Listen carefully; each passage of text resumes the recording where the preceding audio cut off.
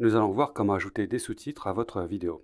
La première chose à faire avant même de commencer votre montage, c'est d'aller dans les préférences du logiciel, ici,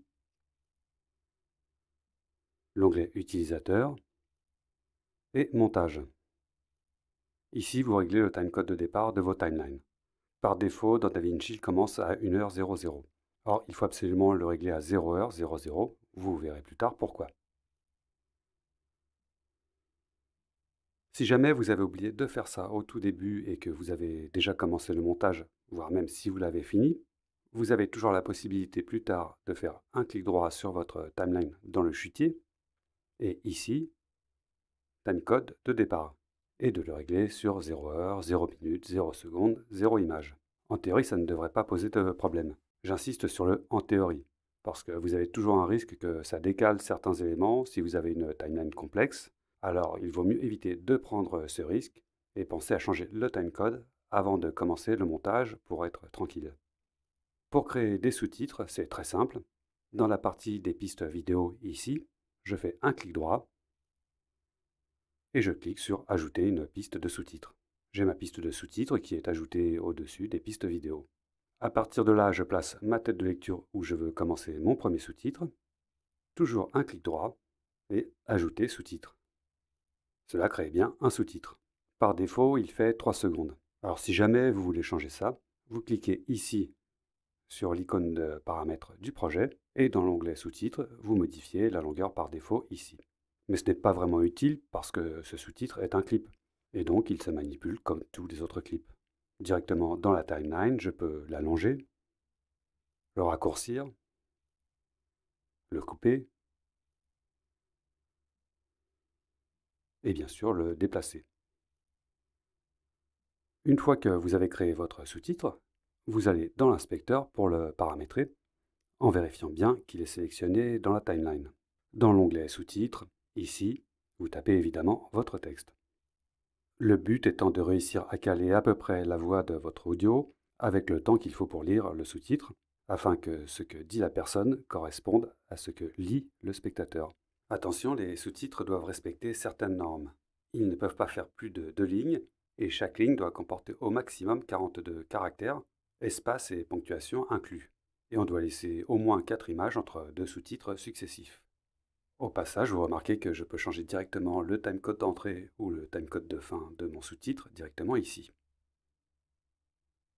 Ensuite, vous pouvez aller dans l'onglet Style, ici. C'est là que vous allez paramétrer le style de texte de votre piste de sous-titres qui s'appliquera donc à tous les sous-titres de cette piste. On a tous les outils classiques d'un traitement de texte.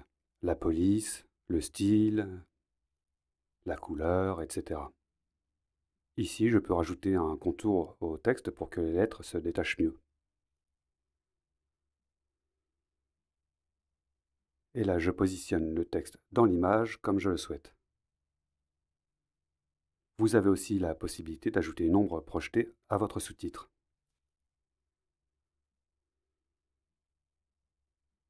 Mais on utilise rarement ce genre d'effet pour les sous-titres.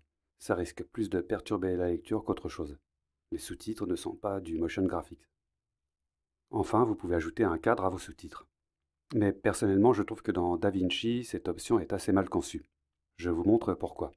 Je déplace ma tête de lecture là où je veux placer mon deuxième sous-titre, et je l'ajoute, soit avec un clic droit comme pour le premier, soit ici dans l'onglet d'un sous-titre déjà existant, Ajouter nouveau.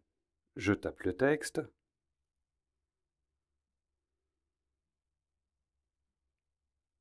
puis je règle la taille du cadre par rapport à ce sous-titre.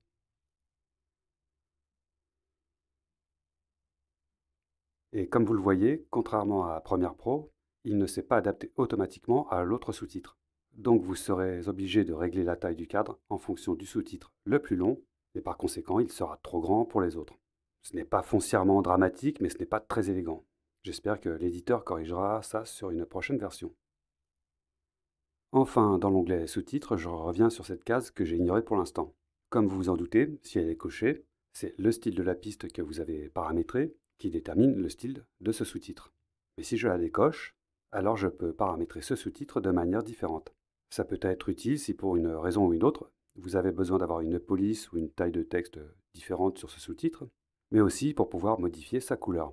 Si j'ai un sous-titrage blanc et que sur le plan, l'image derrière le sous-titre est très claire, même avec un contour, le texte sera difficilement lisible. Alors je peux passer ce sous-titre en noir ou dans une autre couleur pour qu'il reste euh, lisible. Ensuite, une fois que vous avez écrit tout votre sous-titrage, il faut bien évidemment l'exporter. On va donc dans la page d'exportation.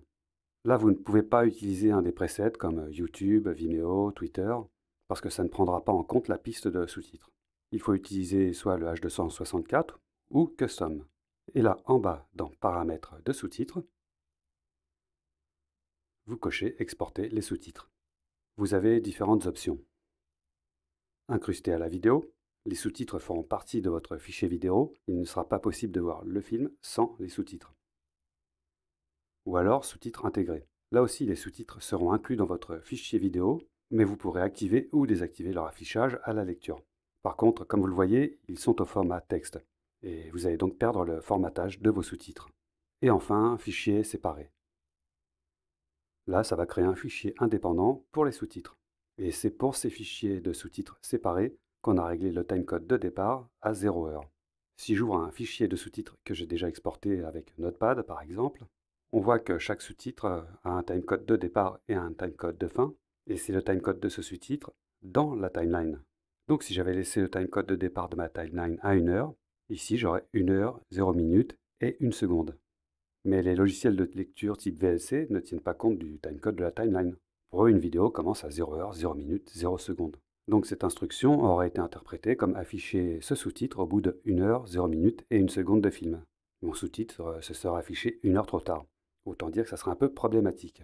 Mais en réglant le timecode de départ de ma timeline à 0 heure, là je me suis assuré que la vidéo et les sous-titres resteront bien synchronisés. On a plusieurs formats d'export possibles.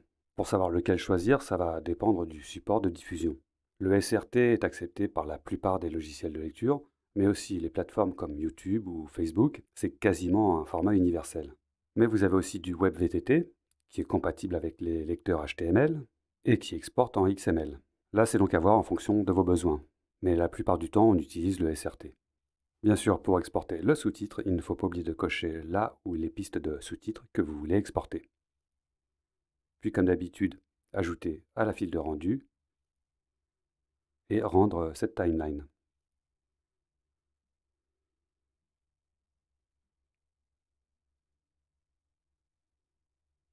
J'ai bien dans mon dossier la vidéo et le fichier de sous-titres.